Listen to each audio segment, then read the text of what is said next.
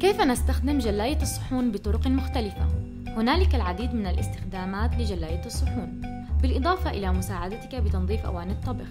تستطيع استخدام جلاية الصحون في غسل الأحذية المصنوعة بالكامل من البلاستيك مثل أحذية الأطفال التي لا تستطيع وضعها بالغسالة كما يمكنك استخدامها في غسل الألعاب البلاستيكية. وأيضا لتنظيف فراش الشعر. ولكن تأكد من خلوها من الشعر قبل وضعها في الجلاية.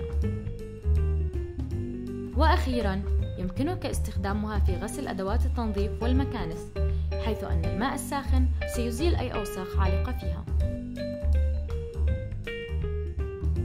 لا تنسوا الضغط هنا لل subscribe لمتابعة ما هو جديد ويمكنكم أيضا مشاهدة هذه الفيديوهات التي اخترناها لكم.